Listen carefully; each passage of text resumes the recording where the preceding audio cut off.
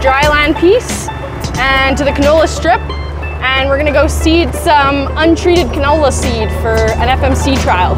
So it's a canola seed, it's, sort, it's a bit of an older variety that we had, um, but the reason I'm using it is because it's un completely untreated, it's just bare seed. So that's awesome because I, in this trial, I really want lots of insect activity, particularly Bertha armyworm um, activity. So I want to encourage that as much as I can and the insecticide covering on a canola seed will deter that activity. So.